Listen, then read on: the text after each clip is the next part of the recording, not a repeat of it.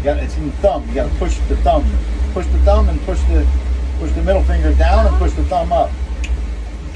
You're more using the middle finger to push it down across the thumb. See? You ready? Okay, snap ten times. Why do I gotta snap ten times? Because you have to say,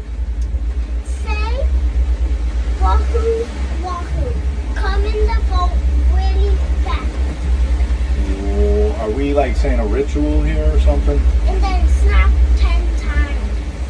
Alright. Did you learn that from like one of the TV shows or something? Where did you learn that? I don't know. Or you just made it up? No, I, I, I just made it up. You made it up.